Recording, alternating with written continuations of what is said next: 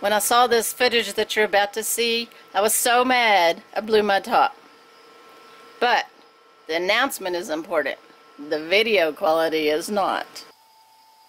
Today is August 3rd and I have an announcement. So grab your nuts, your peanuts.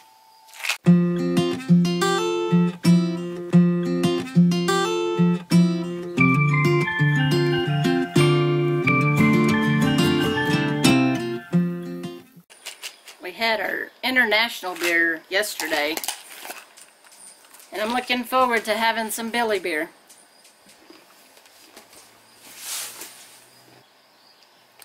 We'll be leaving here at the end of August and going to Possum Kingdom State Park until the end of November. So we already have a new opportunity for December, January, and February, and I wanted to share that with y'all today. If you haven't already guessed, it has something to do with Jimmy Carter. If you watched my the pros and cons of being a park host, which I'll link it right up here, I changed my wording from park hosting to opportunities. And the reason I did that is because all I've done so far is park hosting, but what's coming up in December, January, and February is a different opportunity. We will be volunteering at the Jimmy Carter National Historic Site in Plains, Georgia.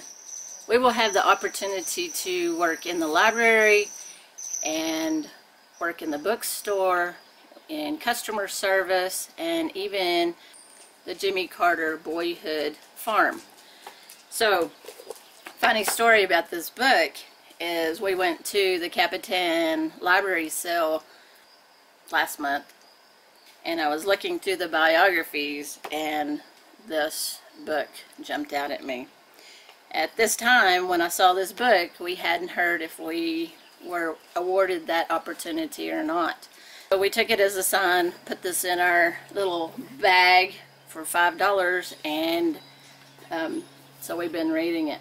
And then about a week later, we found out that we actually did get that job or whatever. Go to that website if you are interested in any type of volunteering. So I will be reading this book, getting ready for that opportunity in Plains, Georgia. So, also I wanted to say that today is National Grab You Some Nuts. So, that's why today's announcement had to do with peanuts. Anyway, if you like these daily videos. Subscribe if you haven't already. Hit the like button and also make a comment below. Have y'all ever been to the Jimmy Carter National Historic Site? If so, let me know what you think. Or come see us while we're there. We should be in the in the area. see y'all tomorrow.